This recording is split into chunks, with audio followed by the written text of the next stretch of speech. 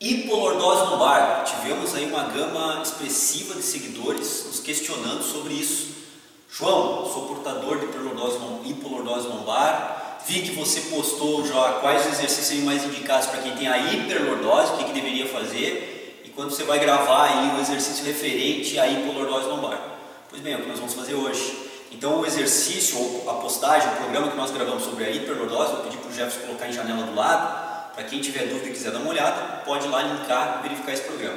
Mas lembrando que hoje é o desvio contrário, é o desvio da hipolordose. E também fazendo um link com o nosso último programa do Treino Foco Responde, onde nós abordamos o equilíbrio pélvico de uma forma um pouco mais aprofundada. Aquele programa anterior, quem não assistiu, sugiro que assista, até pare esse programa agora, essa postagem de hoje, vá ao anterior e assista, porque o que nós comentamos de uma forma bem lenta, gradual e aprofundada no programa Foco Responde anterior, ele é a base para nós entendermos o que, que eu vou colocar hoje aqui de exercícios adequados ou inadequados para quem tem a hipolordose lombar.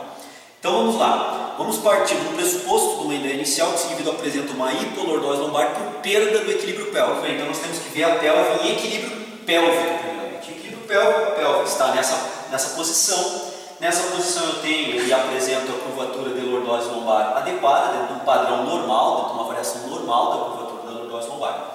A hipolordose lombar, que é a retificação dessa curvatura com perda do equilíbrio pélvico, seria através desse movimento de báscula da pelve. A pelve roda em retroversão, retificando a lordose lombar, minimizando a lordose lombar. E nessa posição que nós temos que entender os grupos musculares. Nessa situação, reto abdominal se encontra, tende a se encontrar encurtado. Então, cabe um trabalho de alongamento, flexionamento para esse grupo muscular.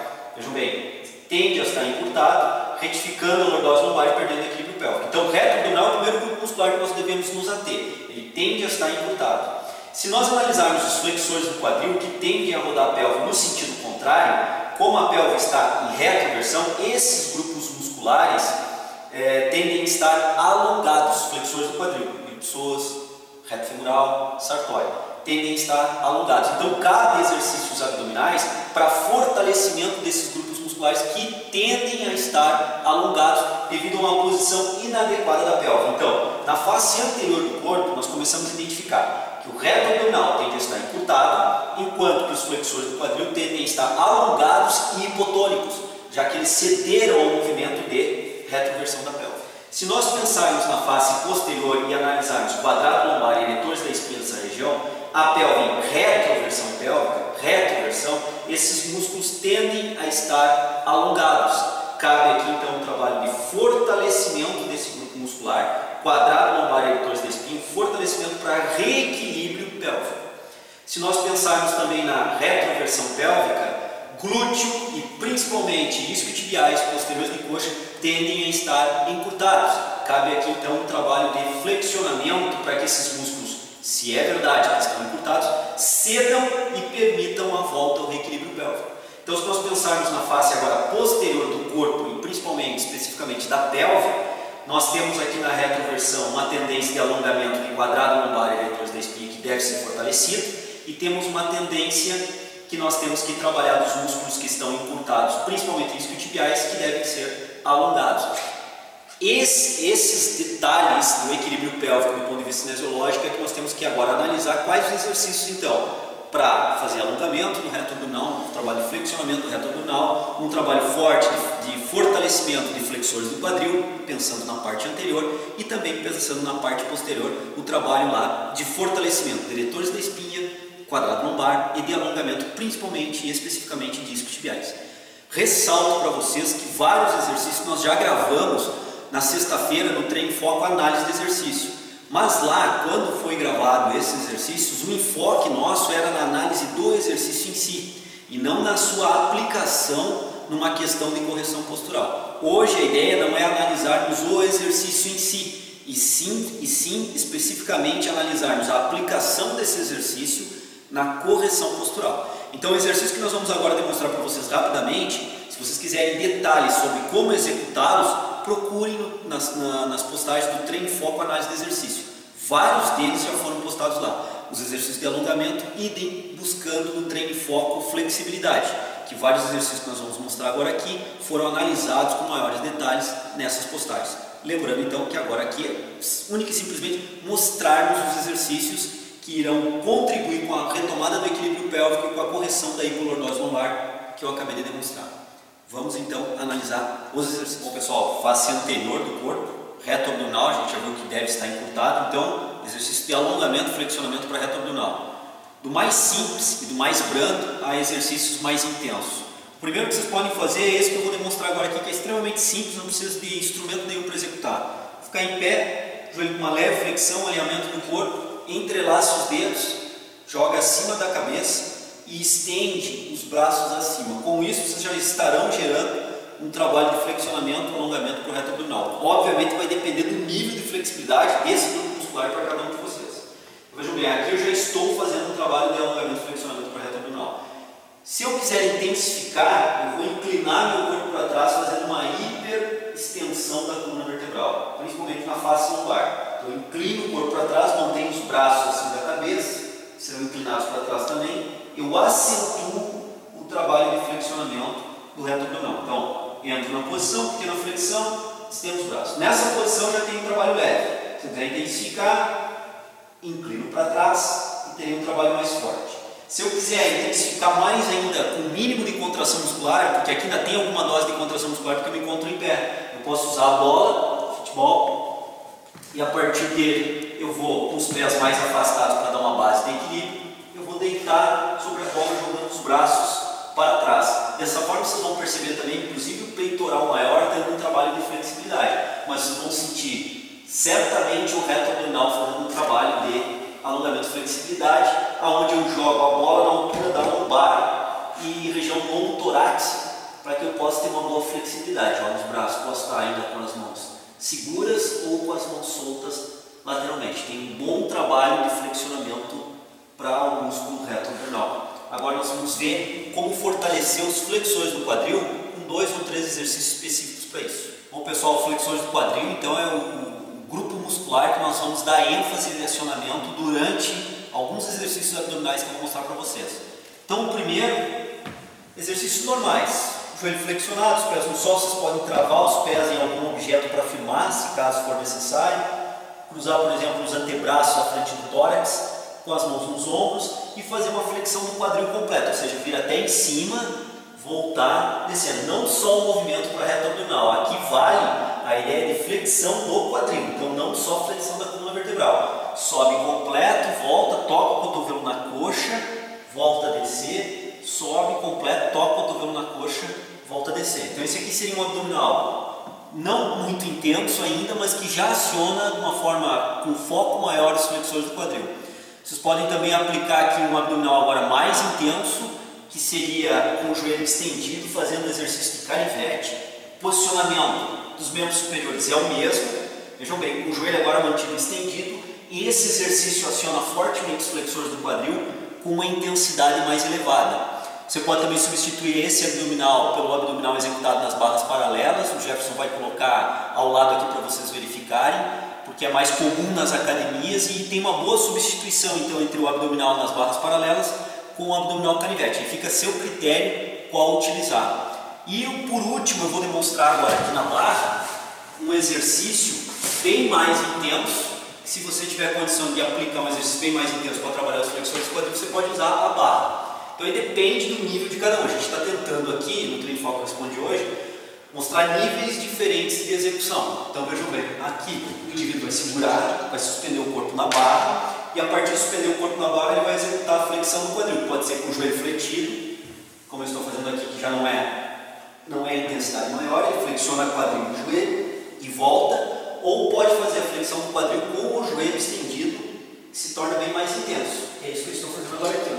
Volta controlando o movimento, sobe devagar e volta controlando o movimento para ter um trabalho bem eficiente e bem forte dos flexores do quadril.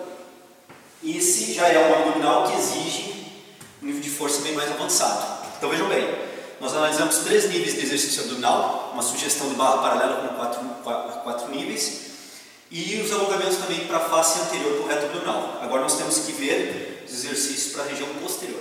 Bom, na face posterior do corpo, nós já mostramos que temos que alongar, flexionar os isquiotibiais. Tem um exercício que nós já mostramos anteriormente com alguns detalhezinhos técnicos. Coloca o pé de uma determinada altura em relação ao solo, pode ser um pouco mais elevado que eu me encontro agora aqui, um pouco mais baixo, mas principalmente manter o joelho estendido.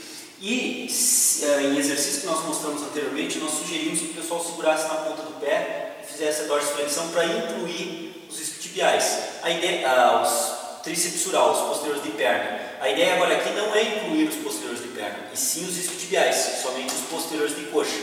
Então, mantenha-se o joelho estendido, não precisa segurar na extremidade da ponta do pé, vai com o tronco à frente sobre o membro inferior. No caso aqui, o membro inferior direito com o tronco à frente, mantendo o joelho sempre bem estendido. Com isso, eu vou dar uma ênfase de alongamento e flexionamento na região de isquiotibiais. É um exercício bem interessante, porque eu posso graduar minha aproximação em relação ao membro inferior, aumentando a intensidade do trabalho de flexionamento ou me afastando e com isso diminuindo a intensidade do trabalho de flexionamento.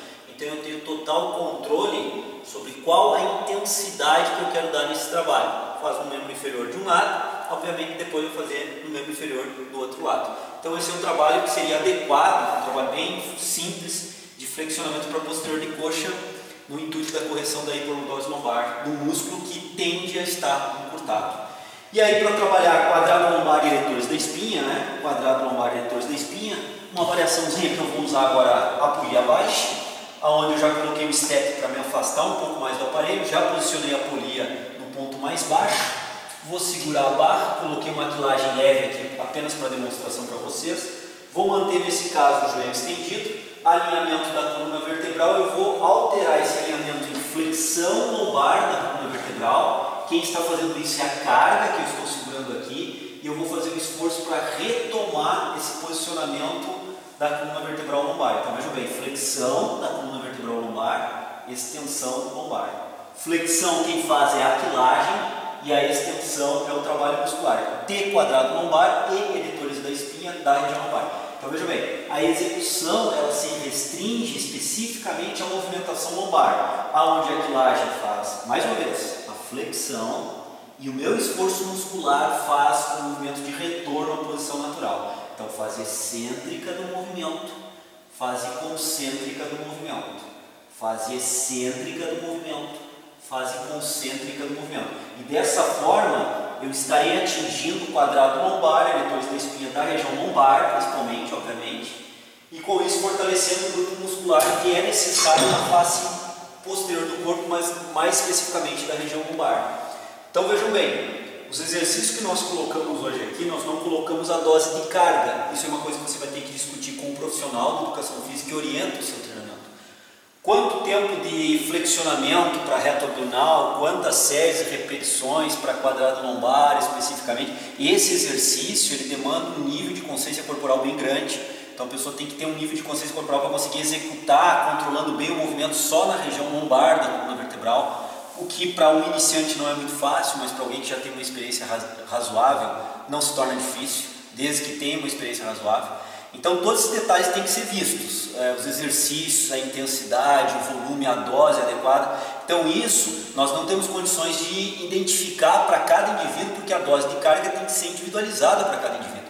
Então cabe aqui a nossa sugestão no Treino Foco para que você procure profissional de educação física esteja na academia que você treina e com ele discutir essas orientações que nós passamos atrelando as nossas orientações ao conhecimento desse profissional que está na academia e através do conjunto dessas informações, o trabalho ajustado, fazer o melhor trabalho possível, buscando um ajuste da sua hipolordose lombar, lembrando que nós partimos de um pressuposto que ela ocorreu através de uma perda do equilíbrio pélvico. Então, dessa forma, os exercícios sendo feitos ao longo do tempo, de uma forma, uma forma adequada, com uma carga adequada, ao longo do treinamento, ao longo dos dias, das semanas, dos meses de treinamento, tende a reequilibrar a pelve e com isso retomar o seu equilíbrio pélvico, desde que essa perda do equilíbrio pélvico tenha ocorrido em função de encurtamentos musculares e tenha ocorrido também com associação de encurtamentos musculares com hipo e hipertonia muscular, ou seja, um desequilíbrio do nível de força entre os grupos musculares que mantêm o equilíbrio pélvico. Se foi esse o motivo da causa do desequilíbrio pélvico e da hipolordose lombar, através do exercício que nós mostramos aqui, vocês terão grandes chances de retomar esse equilíbrio e corrigir o desvio postural. Claro que isso é individual e tem que ser avaliado, como eu já comentei anteriormente, caso a caso. Aqui nós passamos questões genéricas do treinamento, gerais do treinamento, para dar uma ideia das linhas gerais de como deve ser conduzido um trabalho para quem tem uma hipolordose lombar. Foi o caso do Treino Foco Responde hoje. Espero que tenhamos aí respondido a vários dos nossos seguidores e aguardamos também as colocações de vocês para os próximos Treino Foco Responde. Lembrando que nós estamos recebendo muitas perguntas, é um número bem expressivo realmente perguntas, e nós estamos tentando, tentando responder a todos, mas nem sempre é possível em função do número realmente expressivo de perguntas que nós estamos tendo. Então nós estamos tentando aglutinar as perguntas que são próximas, que têm o mesmo tema e que nós venhamos a fazer é, Treino Foco Responde dentro do mesmo tema. E talvez até as respostas lá no site, no canal do YouTube, no próprio perfil meu e do Jefferson, a gente tente fazer também para algumas perguntas que já remetem a outras, para que possa potencializar o tempo, já que, como eu disse, se trata de muitos questionamentos. Bom pessoal, espero que vocês tenham gostado. Se estão gostando, a gente sempre pede que compartilhem essa informação com outras pessoas, que venham ajudar outras pessoas a ter um conhecimento pelo menos básico dessas questões posturais e aguardo vocês no próximo Treino Foco Responde, quarta-feira que vem. Um grande abraço até lá. Bom pessoal, aqui nós já podemos ver então o Jefferson fazendo um exercício que entre outros grupos musculares atua sobre o latíssimo do dorso. Como eu havia falado antes, se vocês observarem bem o movimento do ombro, é um movimento de extensão do ombro contra a resistência ofertada pelo cabo. Então nós estamos usando aqui a rodana alta, lembrando sempre que ele está fazendo uma extensão